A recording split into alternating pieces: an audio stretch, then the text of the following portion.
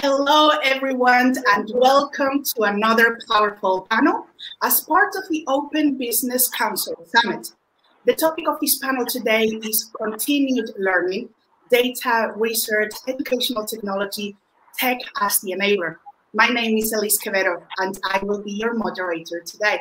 I am joined by an esteemed panel, which includes Mr. Aditya Malik, tech entrepreneur, CEO, and MD at Talent Coach, one of the leading new-age technology-driven interactive education companies. We've got Professor Yu Xiong, Chair of Business Analytics, Associate Dean International, and Director of the Center for Innovation and Commercialization at Surrey University, we have Dr. Jamal Ouenniche, Professor and Chair in Business Analytics at the University of Edinburgh Business School. And we also have joining us today Dr. Nguyen Binh Truong, who is a pivotal researcher at the Data Science Institute at Imperial College London. Thank you all for joining us. And before we start, just a quick note. I encourage all viewers to follow these amazing individuals' social channels and get inspired by their insights and stories, as today we have a short time with you all. The full names are being shared on the uh, chat comments, I believe. So a quick Google search and you will be able to be connected with everyone. And of course, you can follow myself and the Open Business Council channels too. With that said, something that we can all agree on is that regardless of the challenges of the last year, technology in education has been crucial. Digital and data continues to be part of a big shift in the current and in the future of continued learning. Learning itself is essential to our development as human beings. Since we're children, just like food fuels our bodies, information, data, knowledge, and skills are part of the continued learning that fuels our minds. But we are far away from the days of just learning from encyclopedias, physical books, and your traditional classrooms. Technology has been enabling a brand new way of discovery. So let's start right there. For our first question, and this is directed to all the panelists, I would like to understand your point of view on what does technology as the enabler mean to you?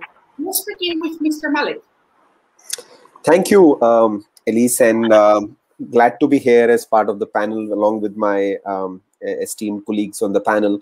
Um, for us, the way I look at it as running a tech company, the technology as an enabler is a means to getting to the last mile and the last person on the ground.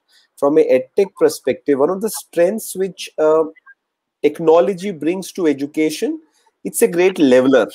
You know, you can give a education the same quality of education to a person sitting in a remote corner of India, Africa, or any other nation in a village, what you can get in the top Ivy League college in the world. To me, that's what technology as an enabler means. Ensuring that the last mile connectivity, ensuring that the last mile learner experience, ensuring that the person who cannot afford to travel to the top Ivy League college gets the same level of education what that person sitting in that remote corner of the world is getting it. And that's where i feel um, you know technology as an enabler can play and is playing a big role in ensuring the true uh, democratization of education as we go forward that is a great kickoff answer so let's continue with the same question to dr jamal uh, hi, Elisa. Thank you for having me on the show. Uh, technology as the enabler, uh, in my opinion, is a generic statement. Uh, so, in its generic form, uh, it means the use of technology uh, enables innovation in the delivery of higher quality products and services. In the case of education, however, it means a more effective and efficient learning experience and one that is ideally customized to the needs of each learner or each group or category of learners. I love the way that we're kicking this off, and I would love to see the hear the insights from Professor Xiong. Um, thank you. Well, I think that's a very uh, interesting question. How we view the technology, how its role to sub support uh, our behaviors, uh, improve the society. Um, so I would think that um, uh, the technology uh, should um, uh, assist we to achieve our goal. Uh, so because um, uh, many people worry that technology sometimes may hurt the human society, and if we talk about AI, and many people worry about AI may may may may be a maybe very risky, right? But uh, if we think that the technology is an enabler, so always support us, just like the water and the boat, you know. So even some people think that okay, water if the water level is high, maybe this will drown people, right? But actually, if water going high, and we can go even higher because we're on the boat. So I think that's uh, my understanding of technology. Yeah. Okay, and what about you, Dr. Nguyen? What does technology as the enabler mean to you? Uh, hi, thank you for uh, inviting me to the show. That yeah, I think my colleagues say all the things that I want to say, but from my perspective, I I just want to have another uh, thing to add. Like, yeah, technology is, is an enabler, but not the solution. So I think people also the key of any solution. We just use the technologies and the materials to build our solutions. So yeah, that is a great addition. And I love everything that you guys have said today. And for me, technology as the enabler means that we do what we already do at a faster and a more efficient way. I'm someone that also grew up without technology until I was 19 years old. My first cell phone, I was 19. So my education didn't have YouTube, it didn't have tablets. It had the old school version of an Amstrad computer using the DOS systems. And we had encyclopedias, as I said earlier. Nowadays, and during the pandemic, we've understood how critical technology has been to get us further, but also life in general. Without technology, we wouldn't have been connected. So technology for me enables me to be connected to more people. And from a business perspective, it allows us to share our message across the world in a global manner in a much faster way. And this was a very powerful start for our panel. So now let's talk about data, something that you're all very passionate and knowledgeable about. So I want to dig deeper because there is no learning without understanding data. Data is one of the most powerful tools to inform, to engage, and to create opportunities along an educational journey. So with your expertise, I want to better understand why is data so important, not just in education, but in other areas as well. So let's start with Dr. Jamal, because you are a member of multiple academic journal boards and data is something you bring. I would love to have your insights to the question of why data is so important from your management and business analytics point of view. Right. So, uh, in most fields involving applied, applied research, uh, having access to data is the only way to expand the frontiers of knowledge, uh, provided that obviously that we, we have the tools to exploit it. And uh, in in most cases, we are talking about descriptive, predictive, and prescriptive uh, analytics toolboxes uh, that we use to extract intelligence from the data. Uh, for the sake of uh, uh, expanding our, our knowledge uh, on the sort of units of analysis we are looking into, but also for the sake of better decision making as a result of uncovering or unveiling uh, information that uh, without such tools uh, would not, or the analysis of the data would not be able to have access to. Yeah, so that's from the importance why why data is important. The the the problem we are actually facing uh, both in academia and in and practitioners are facing the same issues is the availability of data. Uh, and ideally, uh, one day I know that the project is going on, but uh, hopefully one day we will be having open access data hubs to democratize basically research because a lot of people all around the world, academics, researchers here and there, they they can't afford, they can't have access to data, and therefore their uh, uh, the the scope of their research is very limited because of this uh, lack of uh, access to data. And and so far, uh, the data providers are charging large amounts of of money uh, to uh, to institution higher education institutions, for example. Uh, so hopefully the governments all over the the world through probably some some data organization will come together to fund uh, uh, data hubs that will be open access and uh, democratize actually the the use of data and, and research. That's a great answer. Uh, and I would now love to talk to Dr. Nguyen, because when it comes to data, you are a big advocate of taking control back of your data. So could you please share more on what that means and your viewpoint then on the importance of data?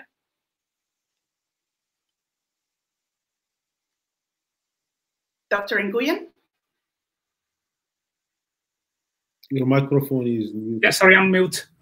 okay, yes. Yeah, so, so, yeah, actually uh, taking back personal data to the real owner is one of my research interests in Imperial College. And I, I'm working on the developing a platform to ensure data privacy as well.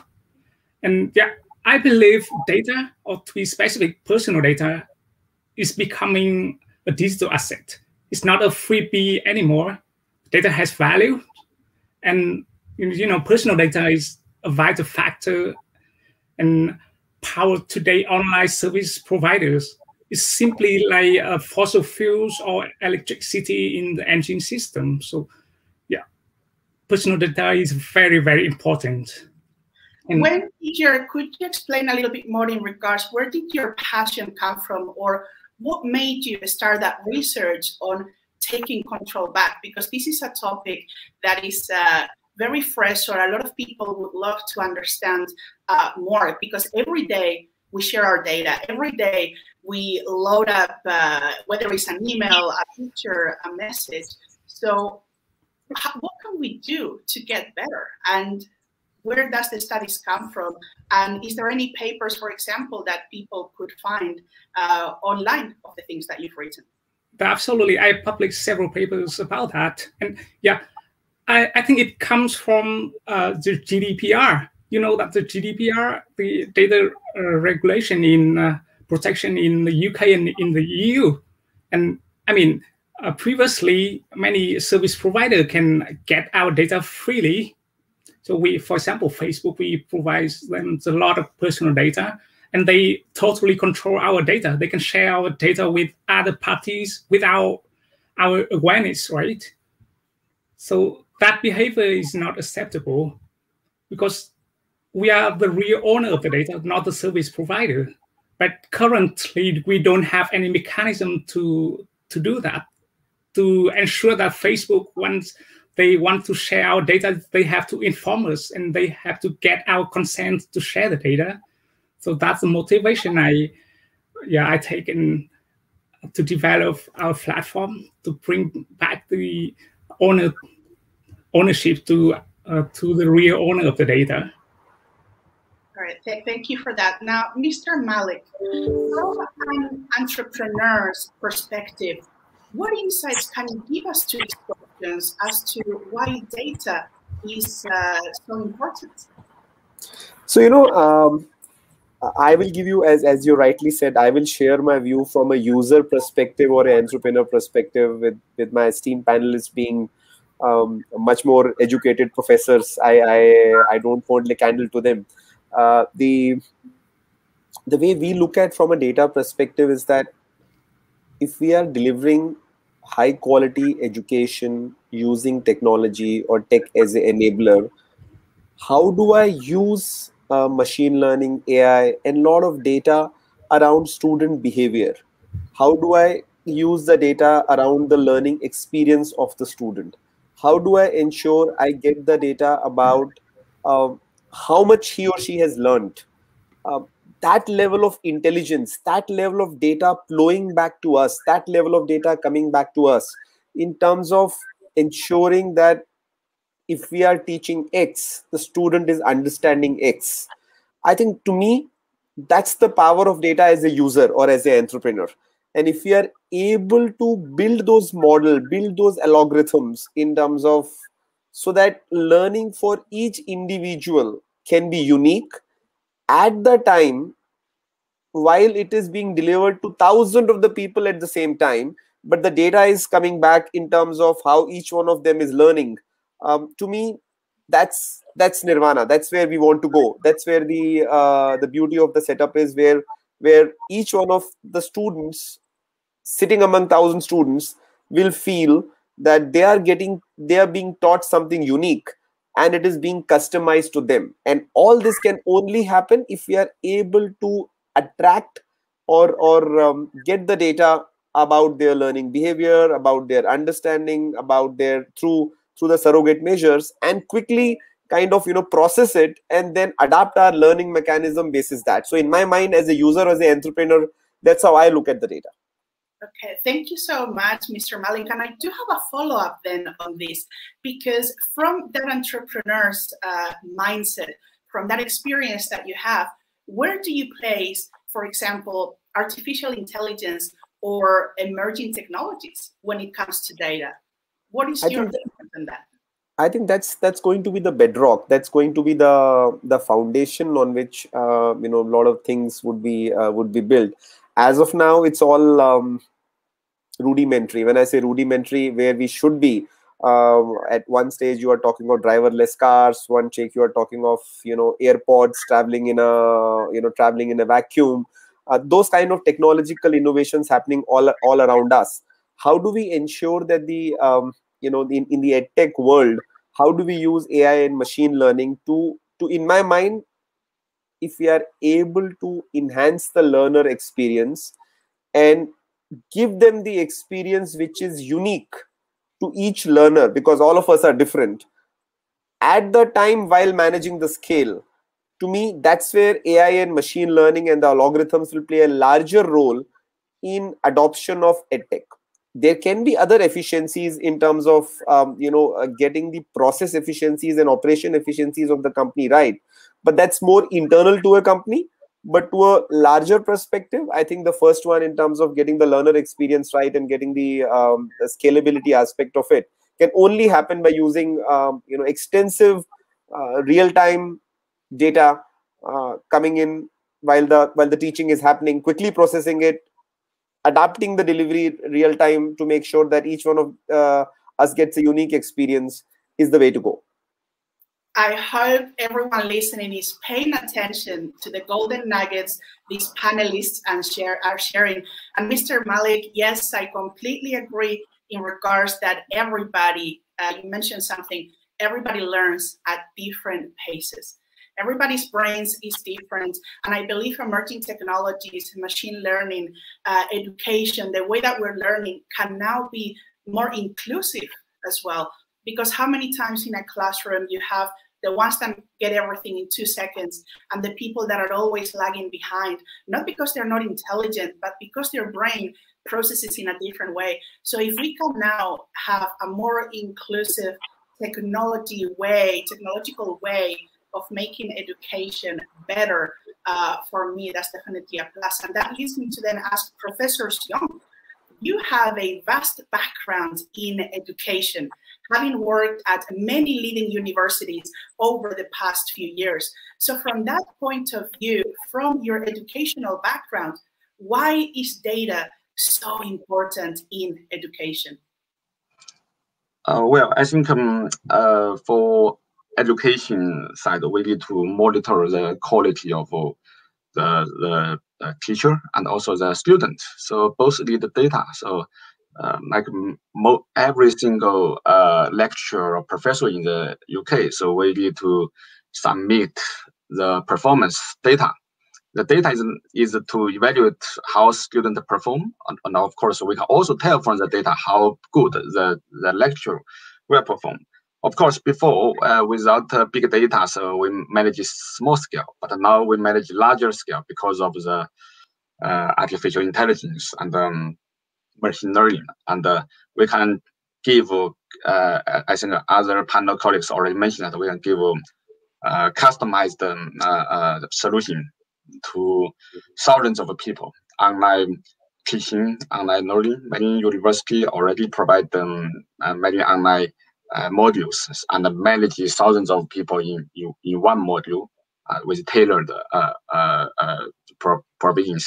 So basically, I think um, this will provide more fair education opportunities uh, to you know tailor-made for student will greatly improve the student but uh, you know before it's only for some very rich uh, people you know who can afford to attend some uh, uh, very uh, private education private schools um, but now so this tailor-made teaching can can be provided to many more people many more students will be uh, monitored. So I think it's very great for the education fairness. So, so that's my opinion. That's why data is uh, important for to the student, to the teacher, and actually also important to to the university or schools. You know, so, so people will compare them. Actually, just uh, while we're talking, I got a, a, a, email notice from the university jump out from my window to say, okay, so uh, my university uh, ranked uh, 60, 61, 61 of the global ranking in impact by times higher just just two minutes ago. It, because that we submit the data for all the uh, 17 SDGs, and every university compete by the 17 measures, and uh, and then they they can compare with each other, compete with each other, improve or compete with themselves to improve. You know? So with the, there are more than 1,100 universities already participate in this global ranking. So uh, well, that's why data is very good for for your self improvement and also to to know know know more about yourself. How, how fortunate we are that we are joined by these incredible panelists who are so powerful. And as I mentioned, their names uh, are on the chat comments, so you can Google and see the papers they've written because combined, they do have hundreds of journals, papers, and information when it comes to data, education, technology, uh, business analytics. And of course, it is impossible for me to try to capture even a 10% of what they all do. Uh, but that moves us to the next question because although data is extremely important, as we've just heard, so is security and privacy. So this question is addressed to all of you because I want your different points of view. So when it comes to having policies and open communication about data, can you share your thoughts on how you personally handle this topic? Let's start with Dr. Jamal. Right. Well, uh, security and privacy are, are important to all. So uh, the issue here is the, in my opinion, is the lack of uh, proper legislation to ensure uh, security and privacy. Uh, and this is one of the solutions. Obviously, there are uh, different possible solutions, but this is one of the solutions that I, I believe is rather urgent. Obviously, uh, uh, some might argue that we already have legislation, but in uh, reality, it only protects providers and does not properly protect the users. So um, I think uh, there is a, there is definitely a lack of uh, proper legislation. This is an area that needs to be strengthened in terms of uh, of legislation to to move forward and uh, also uh, to, to make sure not only it's, uh, it's a matter of, of privacy, but now with the with the the world of banking moving moving online, the risks of fraud are, are much higher than they used to be. and uh, we need we, we need uh, a proper legislation here because even though the banks are not necessarily talking about uh, uh, about uh, issues related to fraud, but they they spend a fortune every year uh, as a result of, of fraud. Uh, so this is a, this is a serious issue that needs to be to be addressed by by legislation and reinforced by pro proper uh, cyber uh, security agencies. Correct. Cybersecurity is actually a major topic that I think sometimes feels undervalued. Uh, I speak often to a couple of cybersecurity experts who have always told me, at least nothing is ever 100% secure, but we need to prevent. Prevention is key in any organization. And just like Dr. Jamal said, we need to have more policies. We need to be more involved because as we all know, publicly, it's only once a breach has happened that an organization decides to actually take matters into their own hands or to dedicate a budget for cybersecurity. And it's only bigger companies that tend to be more aware uh, of these factors such as Fortune 500, uh, education, government offices. But what about the smaller person? What about the startups, the SMEs, anyone who does not understand cybersecurity? And this is where I believe education, once again, comes into play without understanding the importance of security, privacy, and having policies in place. How on earth can we expect people to get better? So now I would love to have the insights from Dr. Nguyen, if you may. Uh, yeah, yeah, right. Like I agree with uh, Professor Jama. Like current uh, at the moment, um, I think they try focus the uh, security and uh, privacy of data to service provider, not to the end user, not to the real owner of the data. We have to change that behavior. So actually, the GDPR in the UK and in the EU uh, already characterize that. So they tried to limit the the power of the service provider and they try to bring back more control to the owner. But the thing is, we don't have a mechanism that to do that. So it requires more research to provide the real uh, ownership to the end users. And you know that um, uh, exposing personal data to the public can lead to uh, very dangerous situations for the owners, right? We need to protect that. We need to prevent that uh, data breaches. And you know, leaking sensitive information to unauthorized party will heavily affect the owner's comfort. And as well as it's also wipe out the attitude towards the digital services. So in this way, the the lack of trust in uh, uh, handling personal data could uh, discourage uh, end users to involve in providing data for service provider and in using kind services. So in this manner, if you want uh, the service like the AI or machine learning uh, services to reach their full potential, data security and privacy is the most important aspect we need to deal with. Correct. I definitely agree uh, with what you've said. Cybersecurity, once again, uh, we need to put it at the forefront, I believe, of any planning. And I think sometimes what I find is that it's put at the bottom of these uh, categories simply because it's not understood or because I believe it is still quite new. Cybersecurity is one of the only industries that currently has zero percent unemployment. And by that, it means that we don't have enough experts.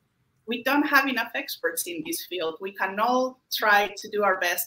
but we need to encourage more younger people to also enter this field. Now, what are your thoughts, Professor Xiong? Uh, how do you handle this topic at uh, the current university uh, you are at? Thank you. Actually, interestingly, uh, just before this panel, uh, I I uh, organized a meeting uh, between our university cybersecurity uh, center, the director, and uh, with uh, the director of uh, another big player in this field, now create a lot of publicity, which is Huawei. So, so basically, I, I am in this meeting. I bring two parties together to discuss this issue because if Huawei do not pay a lot of attention to privacy or data.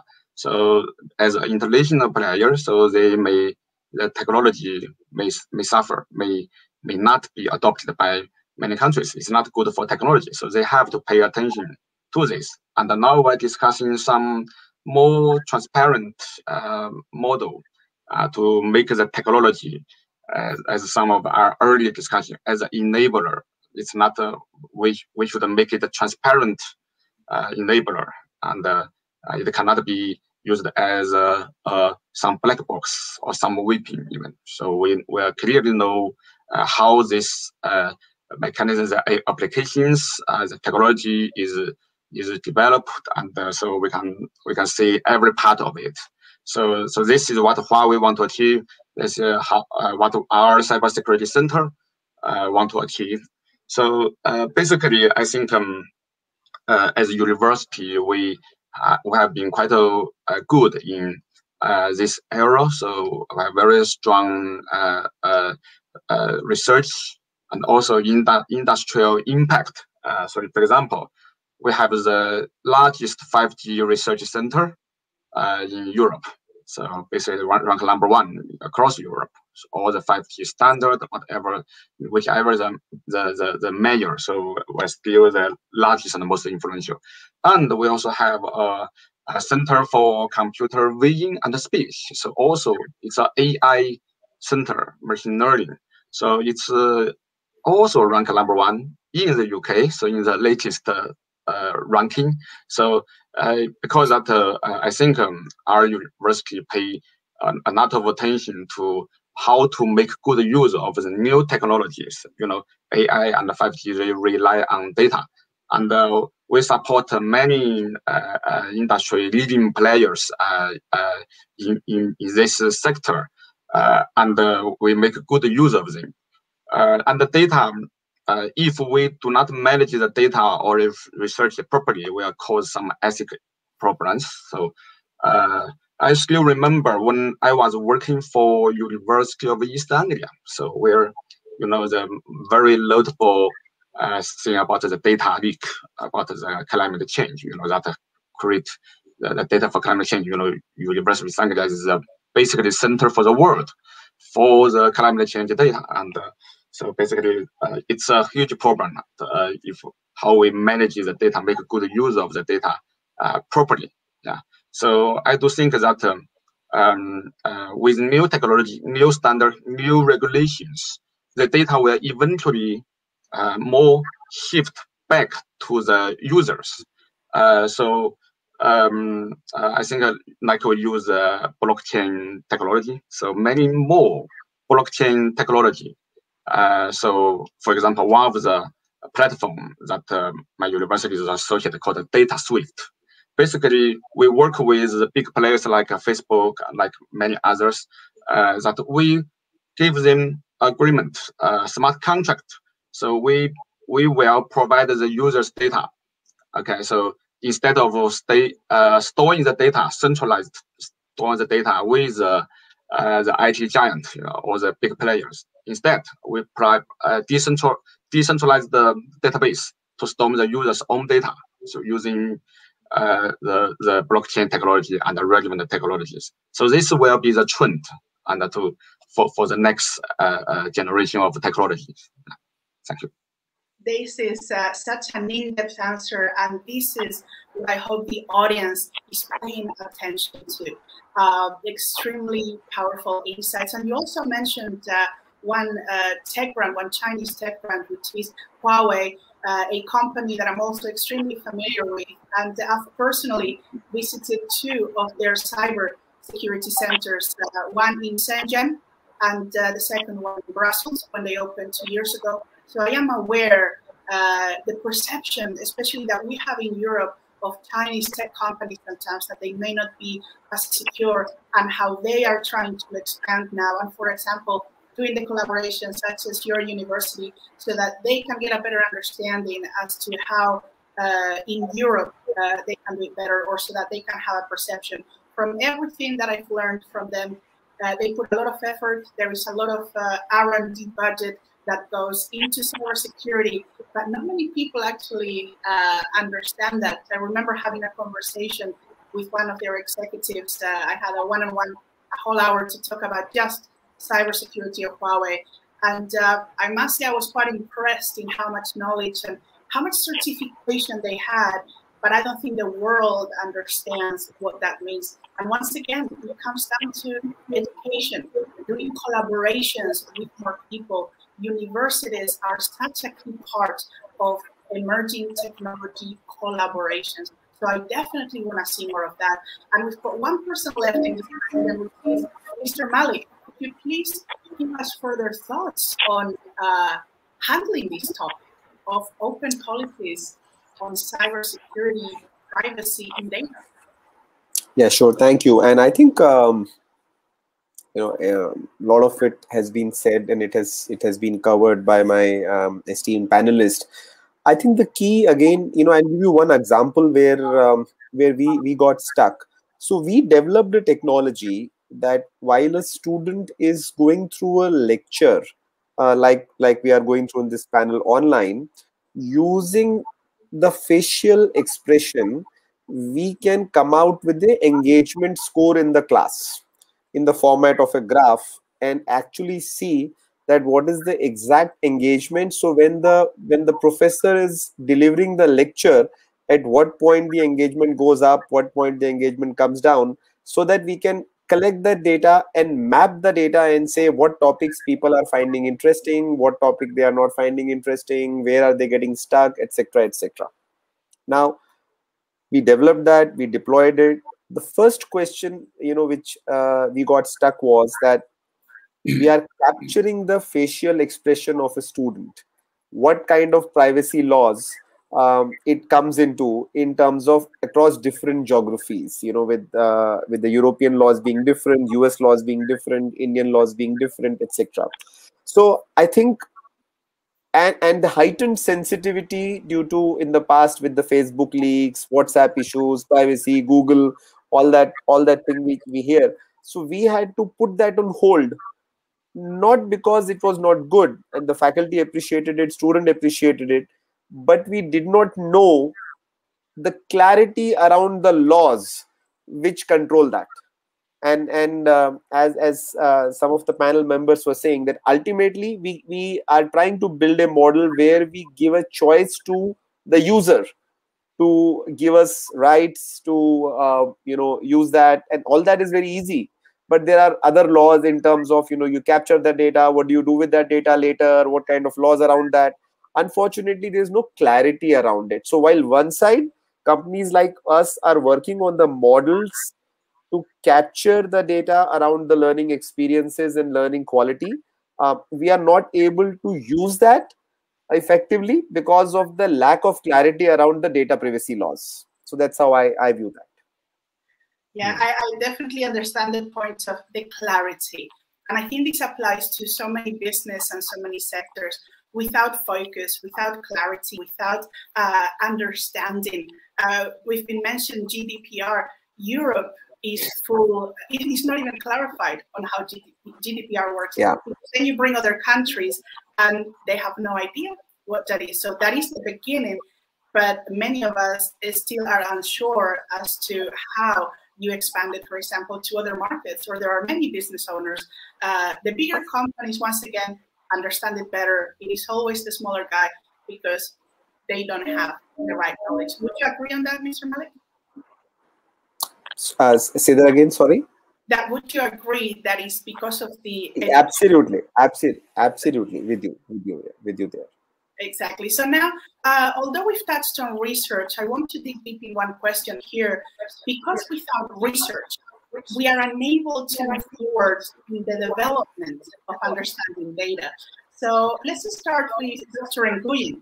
At the Data Science Institute at Imperial College, one of the world's leading universities, you have been very active, as you mentioned, in projects related to GDPR compliance solutions. So what role does research play in your current environment? Mm, all right. I, I think uh, it's obvious that in order to move forward in any subject, we need to do research, right? And in the development of understanding the data, I believe you are referring to some kind of AI and machine learning technology. And yes, research is almost, I mean, important factor in order to provide more efficient and effective algorithms and mechanisms to uh, better understand data and also to support make uh, making decision uh, better. But the thing is, not only that uh, AI or machine learning technology, in order to uh, make a solution uh, better, we need to have other technology to develop as well, along with the AI and uh, machine learning. Like we have big data, we have sensor uh, deploys, and all, all, over the world we collect a lot of lot of data. We have uh, we need to have high performance computation. Like we have more research topic on quantum computing, for example, or we need to have a better network communication, like 5G or 6G, in order to you know in order to uh, uh, enable the AI and machine learning work. And uh, obviously, data privacy and security is the most important. is a fundamental aspect if we're talking about AI and machine, machine learning service Thank providers. You.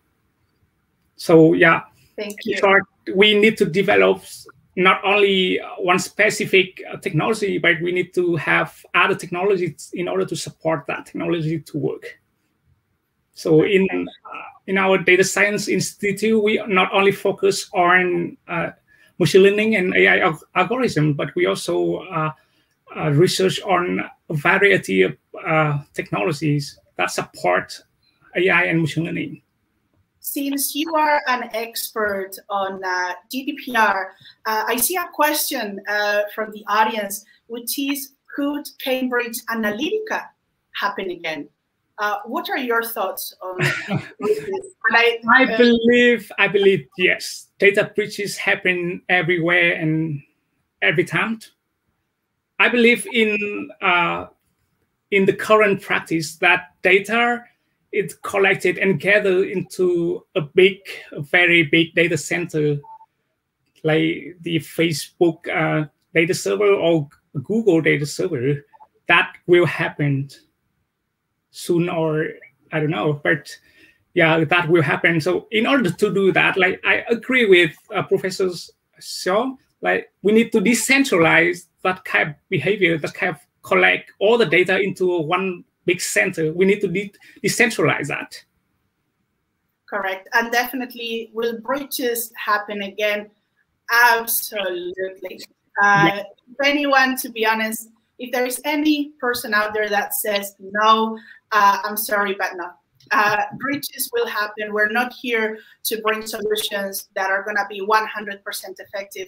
When it comes to cybersecurity, compliance solutions, this is a very complex subject, and we are years from finding the perfect version, but we can do our best through research. And just like somebody else is uh, saying in the comments, data is the most valuable uh, resource. This is what we're talking about today, and it definitely is something that we must continue. And now, Mr. Malik, I want your insights here because you have meticulously built a team on the basis of their core expertise and their determination to work with passion.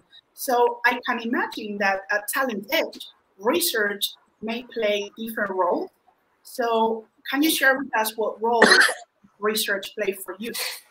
So it's a it's a critical component for us as a as a business. It from right from figuring out what kind of courses we need to structure to ensure that uh, you know the demand from corporates is there to hire those kind of people to first figure it out. What are the jobs for the future?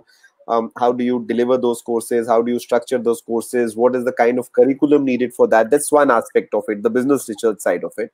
Second aspect is the the changing student behavior changing behavior of a working professional. How is it changing? What are they expecting? Uh, we have seen a drastic shift from uh, long lectures to a micro learning you know and then again it goes to now it's all about audio learning learning through audio. So these behavior patterns are changing so fast how do we ensure that we constantly research so that we we um, uh, you know we kind of are ahead of the game and are able to um, package that and deliver that experience to our student and our learners so that's that's how we look at uh, the research right from kind of courses to delivery to ensure that the student behavior is captured uh, and to make us to keep us ahead in the game that is a very clear and concise uh, answer now let's move on to professor Xiong.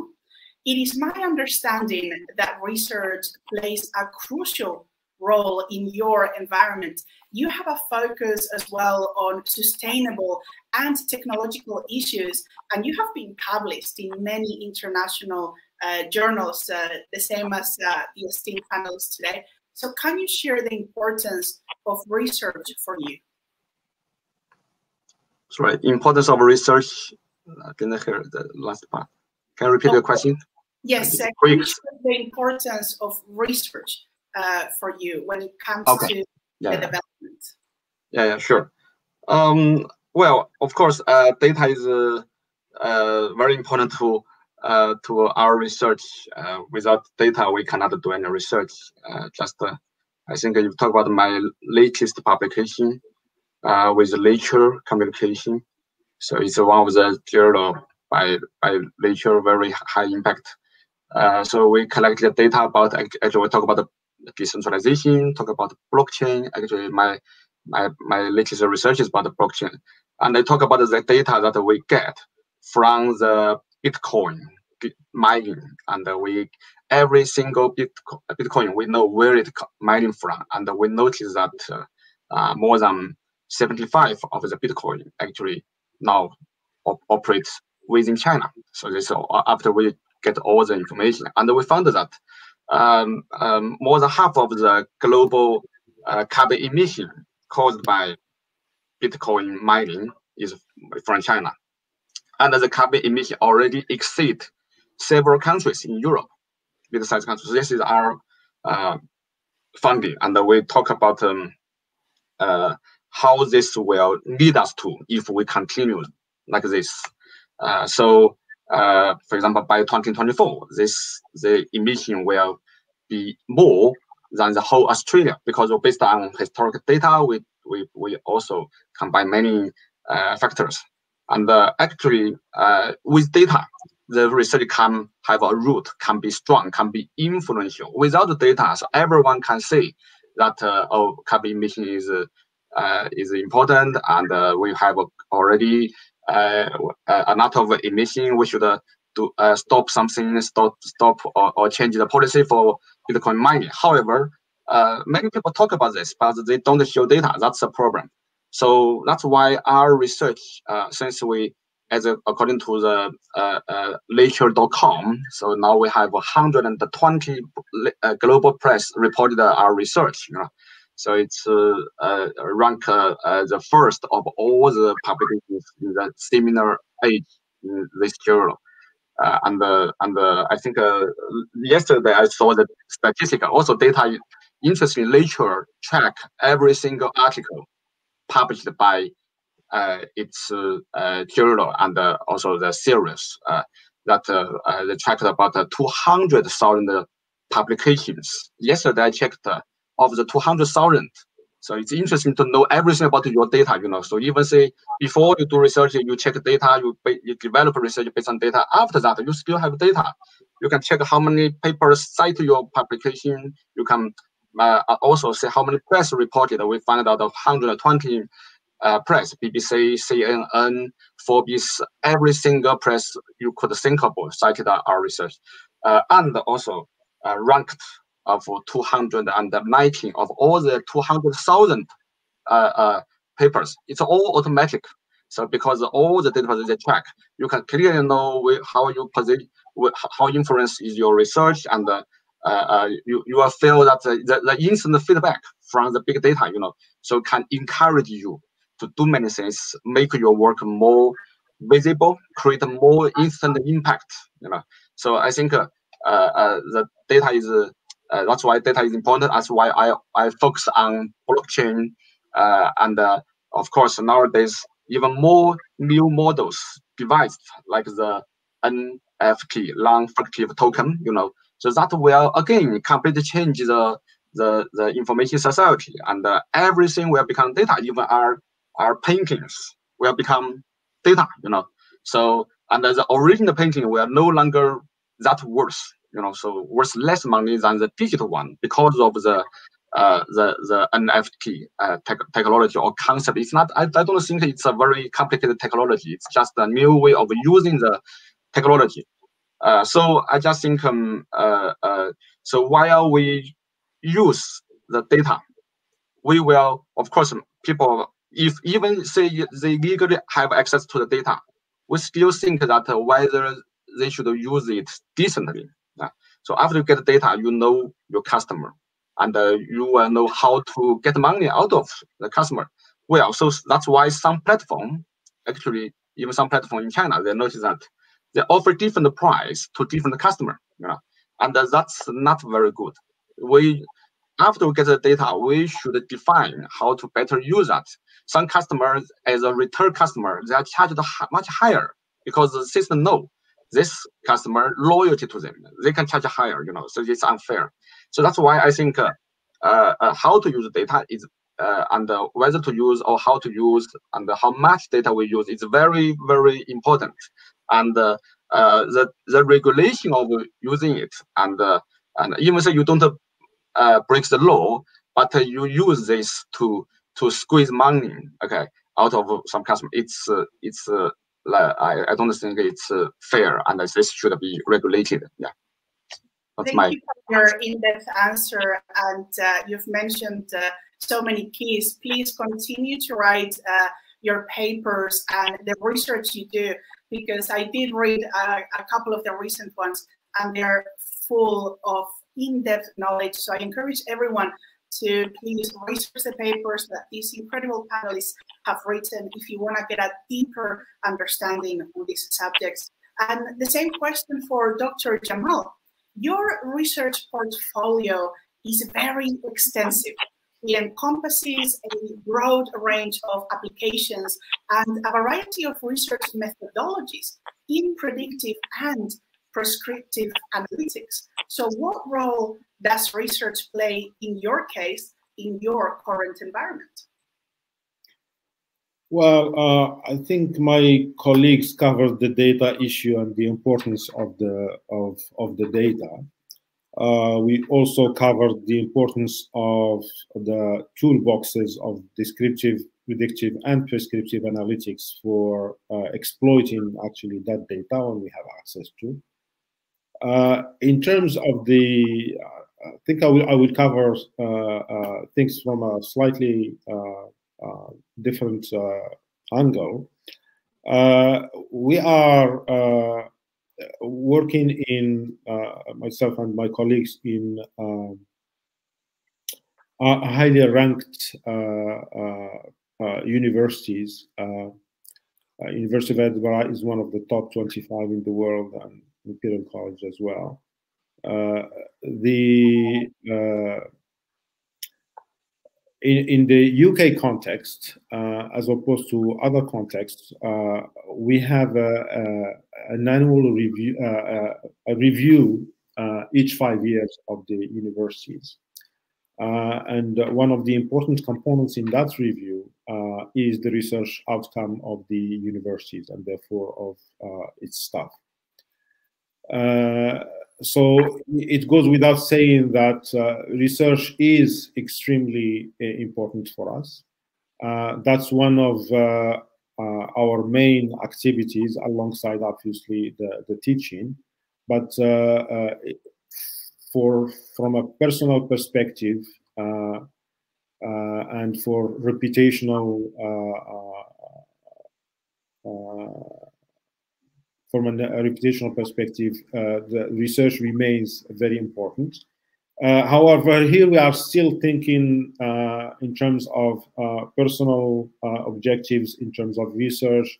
We are talking about uh, university objectives in terms of research for the sake of rankings and funding from governments and other organizations. But the what we rarely talk about is the importance of research and the importance of transforming the outcome of, of research into actually products and services that are commercialized for the sake of uh, uh, uh, enhancing the economy. Uh, and I think this is one of those things that uh, uh, obviously governments are aware of this, but not all governments uh, uh, do uh, invest in these aspects of uh, not only uh, research uh, or production of research, but also commercialization of that research. And yeah, so this this is another important aspect of the research, and we can clearly see that in research-intensive environments and, and countries. Obviously, they are where they are because or the, and their economies are where they are because of the uh, that step that they take uh, uh, to commercialize uh, or to put in practice actually the what, what comes out of, of, of universities in terms of research. Thank you, uh, thank you, Professor Jamal. And with that, uh, we have four minutes left. We have come to the end of this panel, and I do have one last quick fire question for everyone. I also want to say thank you to the people leaving comments.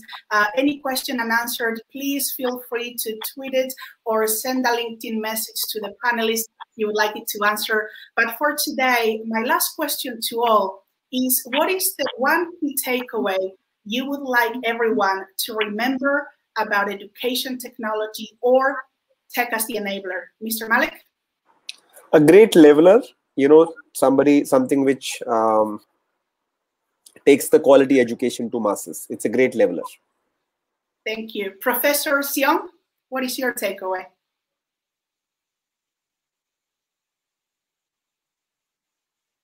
Professor Xiong? We cannot hear you. Uh, some mouse yes, yeah. Sorry. Uh, I I think your question is about uh, using one one one, one key takeaway for everyone to remember about education technology or tech as the enabler. Yeah, yeah. Well, I think um uh uh this uh edutech will provide uh, fairness, you know, so to for all the people. Yeah. So we we we we want more more people get a fair education, fair opportunity, and the technology can help us achieve that. Yeah. Perfect, uh, Dr. Jamal. Well, I, I, believe in the long run, uh, tech will enable us to do, deliver better and learn better.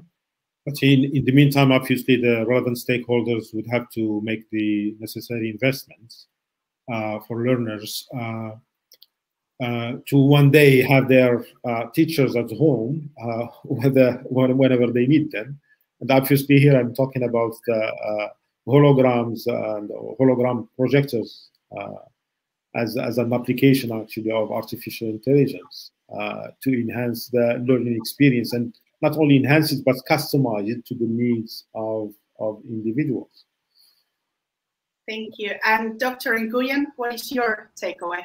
For everyone. Yeah. So EdTech, I think EdTech enable uh, like 24/7 access to learning. So try to use utilize them and try to grasp as much knowledge as possible. Perfect.